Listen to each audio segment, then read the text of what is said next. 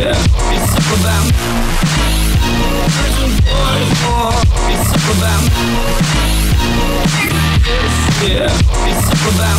everyone, this is Jack and welcome back to another Minecraft video and today in this one we're going to take a look at the moving walkway in Minecraft. So as you can see over here we have two little walkways, one is for going forwards, one is for coming backwards over here. So as you can see when I get on this one over here we're gonna start moving and as you can see we will automatically reach the other end.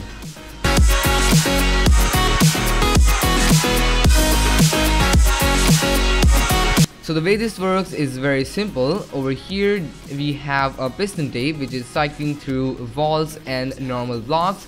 So as you know that the walls have a hitbox higher than normal blocks. So if you get stuck in, between of these you're going to be pushed with the walls because this is a little bit lower. So this is how it all functions. You just get on over here and the carpet doesn't affect the hitboxes so it's gonna be just normal there and uh, you're just gonna start moving so it doesn't affect that the uh, hitboxes so as you can see even on the carpet this works very very nicely.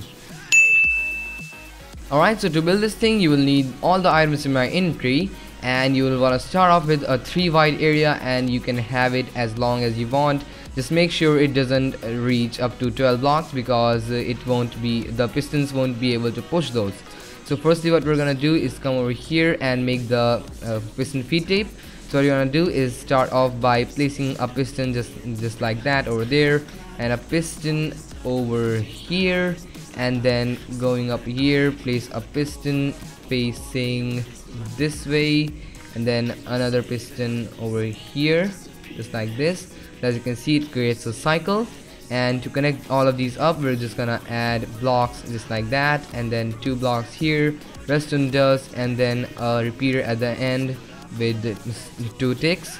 So we're gonna go over here add blocks and just take them just like this and then place blocks just like that add a block over here and then repeater with two ticks redstone dust repeater with two ticks redstone dust and we're just gonna come up to here and the same thing over here block there block there redstone repeater two ticks and then blocks and redstone dust. So this is the whole uh, piston feed tape and we're just gonna power this anyhow with however you want to. And now we're gonna just uh, just stop this cycle for a minute and uh, start off placing all your blocks. So what I'm gonna do is use cobblestone. You can also use fences but they don't really work that well so what you want to do is place a normal block over here then a cobblestone block and then a normal block and just alternate them just like this.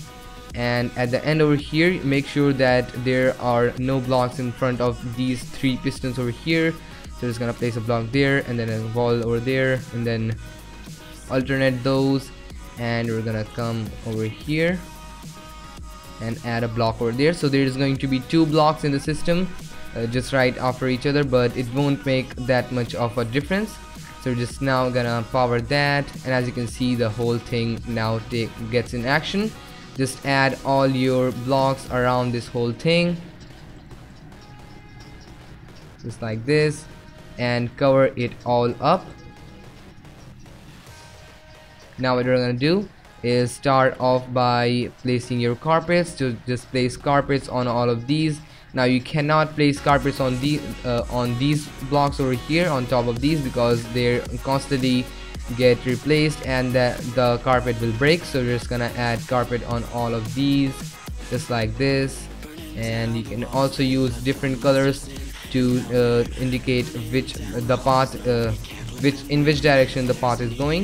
It's gonna cover all of these. Just cover these pistons up with slabs or carpets and you're good to go Alright, so that was the end of this video. I hope you enjoyed this video and if you did then be sure to leave a like and subscribe for more videos. I will see you in the next one. Thanks for watching and goodbye.